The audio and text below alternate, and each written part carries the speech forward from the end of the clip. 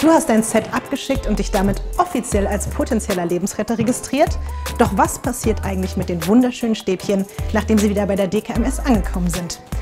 Sie landen direkt im Labor, dem DKMS Life Science Lab.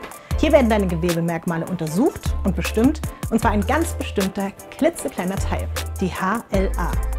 HLA steht übrigens für, Achtung, humane Leukozyten-Antigene. Diesen HLA-Teil gibt es in tausenden verschiedenen Kombinationen. Genau deswegen ist es auch so schwierig, den perfekt passenden Spender zu finden. Stell dir einfach vor, für eine Stammzellspende müssen die Gewebemerkmale von Patient und Spender ganz genau zusammenpassen.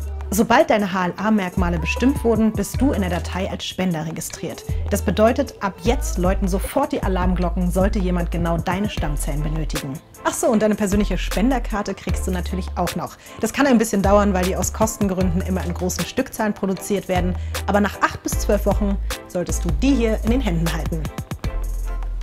Die DKMS arbeitet aber nicht nur wissenschaftlich gründlich, auch Datenschutz wird ganz groß geschrieben.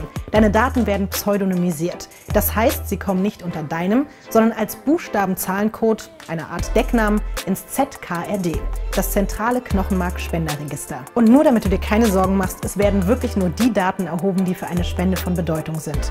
Beim ZKRD laufen alle Daten aller Spender aus ganz Deutschland zusammen.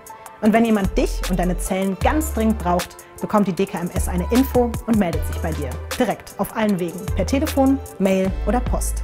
Was passiert, wenn du tatsächlich als Spender in Frage kommst, das siehst du im nächsten Video. Dafür einfach hier klicken. Und wenn du dich jetzt direkt als Spender registrieren lassen willst, dann klickst du hier.